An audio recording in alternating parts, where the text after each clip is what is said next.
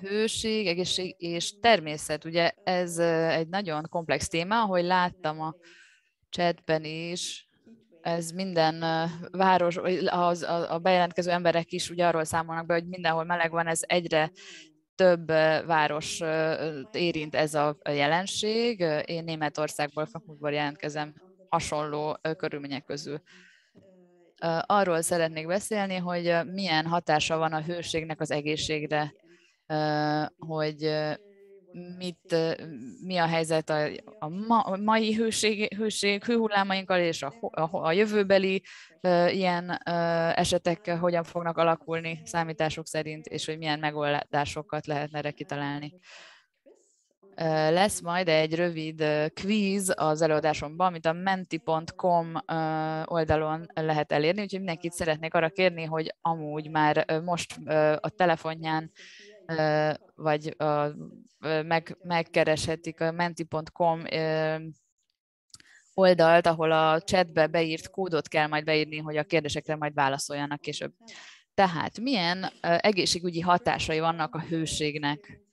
Először is azt gondolom, hogy ezt mindenki az ilyet már mindenki tapasztalt, hogy nagyon kényelmetlen, viszont kifejezetten stressz tud generálni, agresszívé teszi az embert, kardiovaszkuláris megbetegedések, vesebetegedések, légzés, légúti betegségeket is okozhat, és olyan komplikációkhoz vezetett, ami kifejezett akár a szülési komplikációkat is indukálhat. Például nekem, én például hamarabb, nekem hamarabb indult be például a szülésem egy hőhullám miatt, a leg, és akár szélsőséges esetben halált is okozhat. A legsérülékenyebbek nyilván az idős emberek, a, a nagyon fiatalok, de a betegek, beteg embereknek is nagyon súlyos hatásokat tud okozni egy hőhullám. Például 2003-as hőhullámban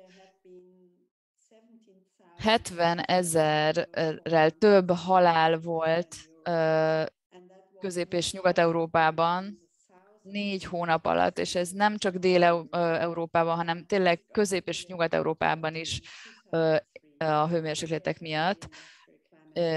És 2003-as évet a, az iparosodás előtti időszakkal összehasonlítva 70%-kal emelkedett Párizsba, 20%-kal Londonba.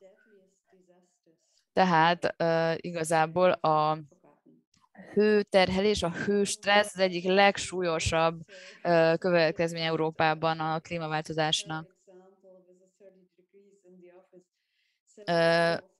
Ugye, ahogy Zsófi is mondta, hogy 30, 30 fok van az, a, az irodában, azt gondolom, hogy ez, ez abszolút egy általános jelenség, hogy ez mindenképpen valamilyen szinten a munka a munka minőségére is rá fog menni, és mindenképpen csökkenni fog az embereknek a munkaképessége az ilyen hőmérsékletek mellett. Már van egy kutatás is, ami 4%-os, azt mérte, hogy 4%-kal csökkent, vagy 4%-át veszítettük el a munkaóráknak, és ez akár meg négyszereződhet 2100-ra. Tehát mi a helyzet akkor ilyen módon, a, mi, mi, milyen szerepet játszik a hőség a mai világunkban, és milyen szerepe van a városoknak ebben?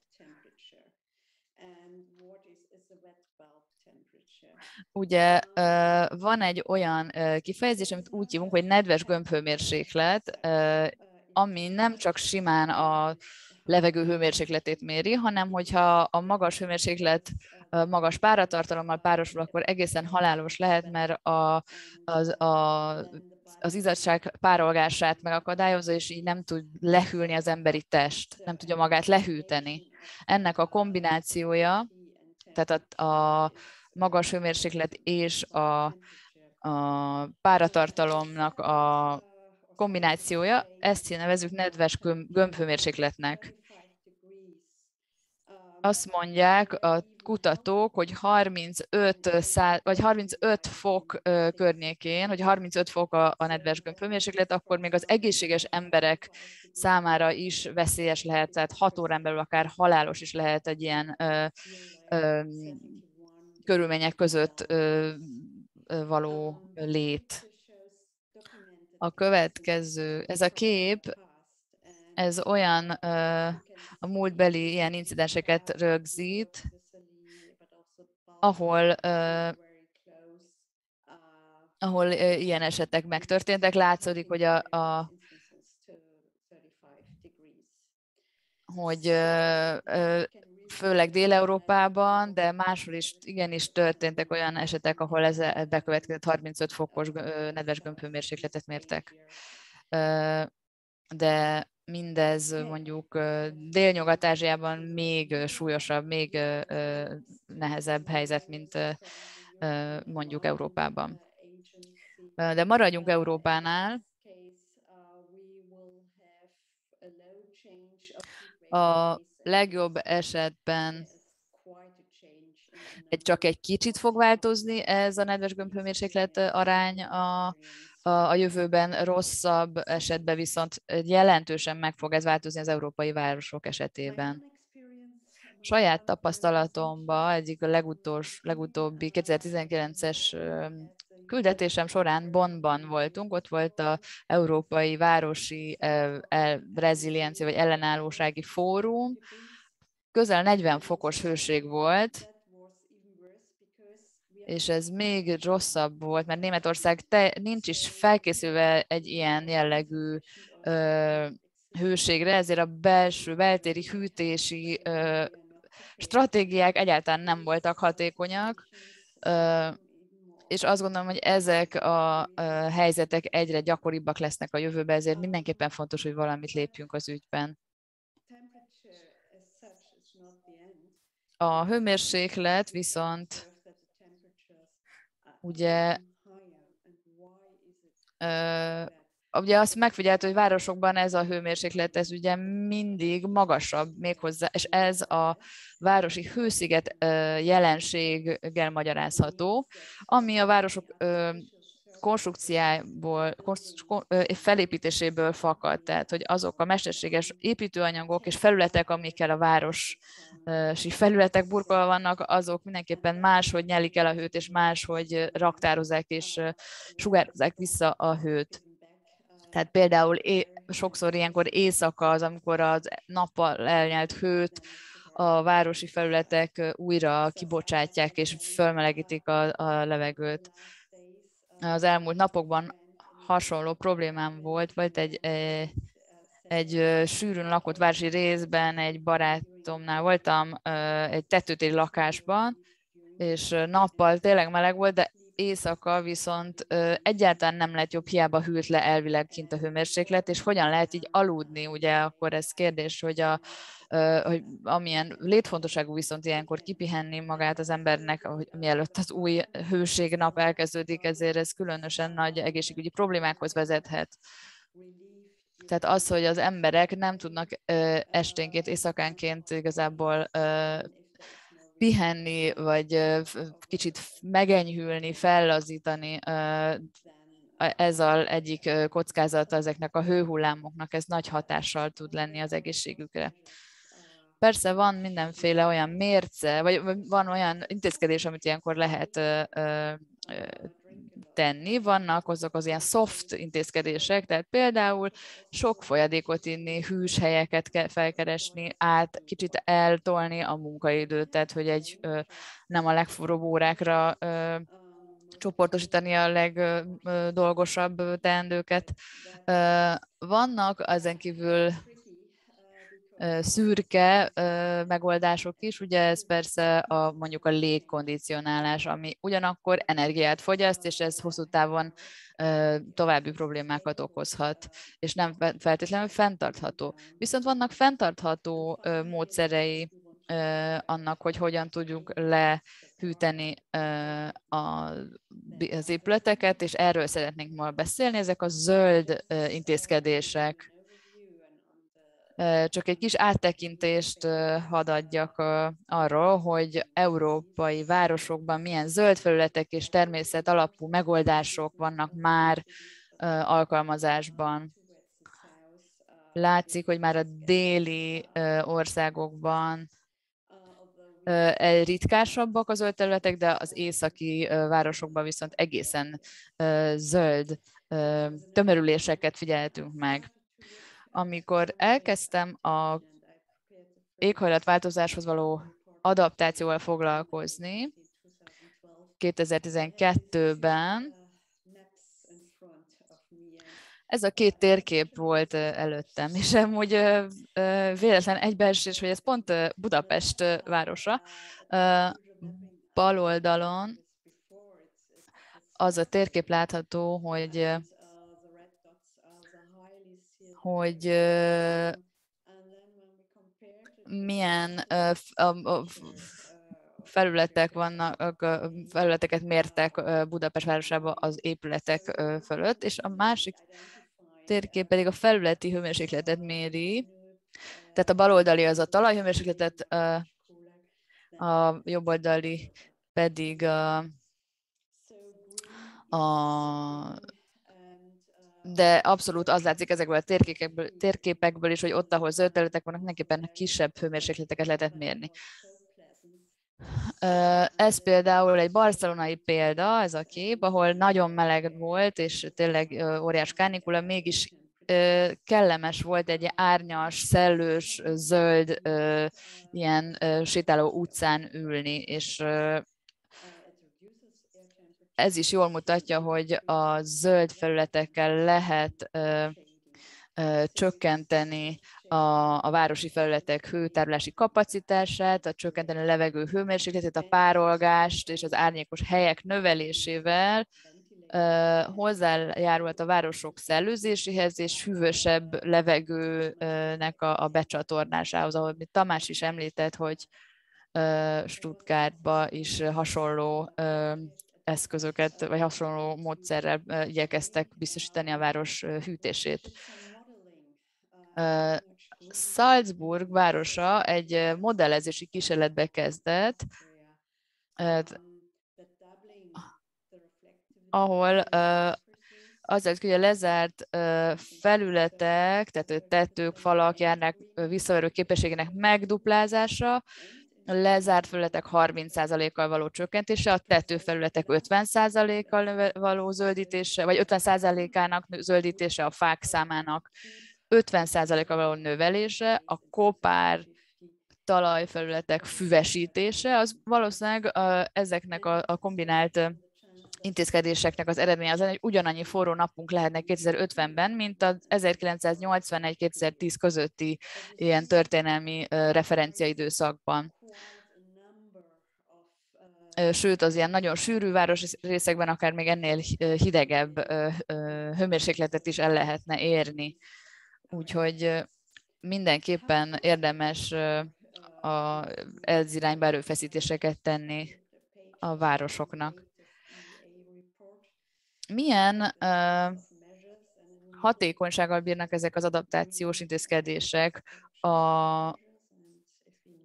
tehát hogy a magas hőmérséklethez való alkalmazkodási intézkedések hatékonyságát mérve az derül ki, hogy ezek szinte mind nagyon hatékony, tehát látszódik, hogy hatékonysága van, lehet, hogy alacsony, közepes vagy magas, de hogy mégiscsak látszik, hogy a fásítás az, és a, a parkok, meg a, a létesítése az mindenképpen a nagyon hatékony, magas hatékonyságú intézkedések között található.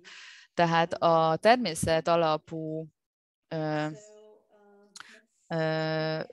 megoldásokkal kapcsolatban, akkor most viszont szeretnék tartani egy kis felmérést, tehát hogy mindenki nyissa meg a menti.com oldalt, és ott pedig üssék be a chatben lévő kódot, remélem, hogy látszódik még a chat ablakban, 62 421 a kód.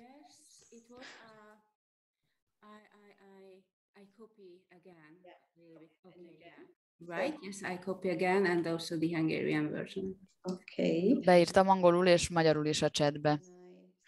Úgyhogy ha most én is akkor az képernyőn átváltok a menti oldalára.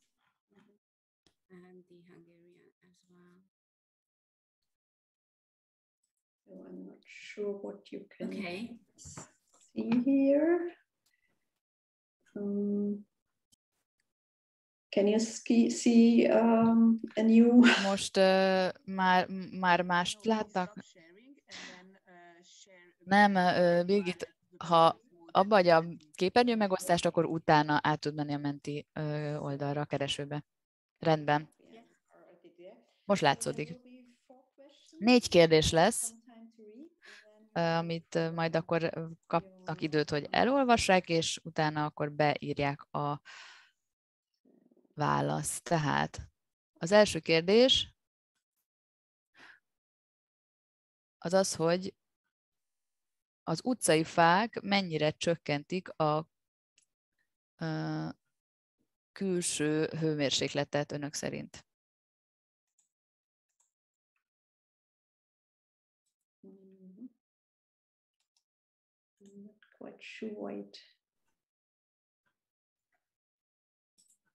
Okay.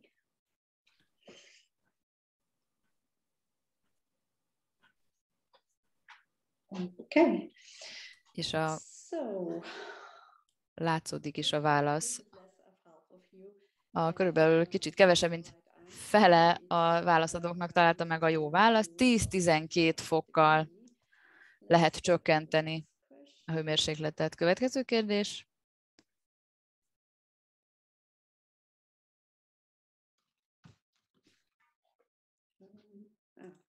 start, sorry. Mhm. Hogy a zöld tető mennyire csökkenti, hány fokkal csökkenti a belső hőmérsékletet egy épületben.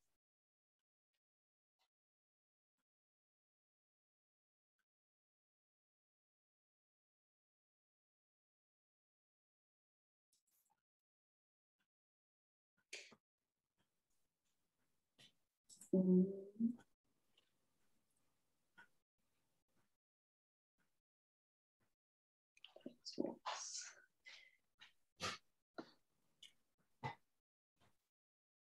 Yeah, most of you had the A right. többség megtalálta a jó választ, kettő és négy fokkal.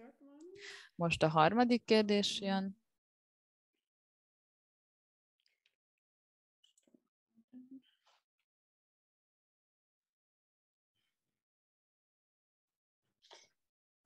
By what percentage? Hány százalékkal lehet e- e- egy zöld fal tudja, na, bocsánat, hány százalékkal tudja a zöld fal csökkenteni a hangenergiát?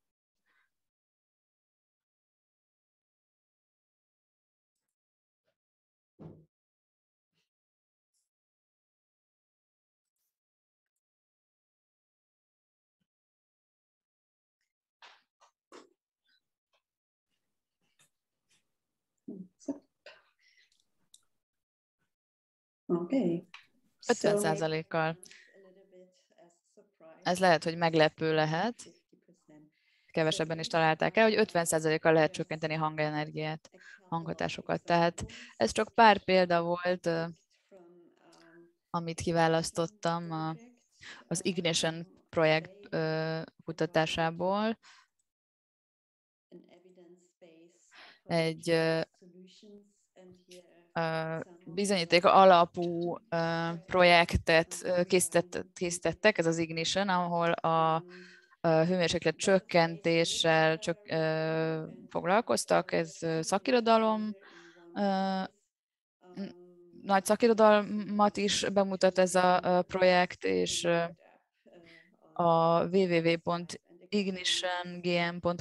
ö, honlapon igazából meg is lehet, utána tudnak nézni a részleteinek, hogy milyen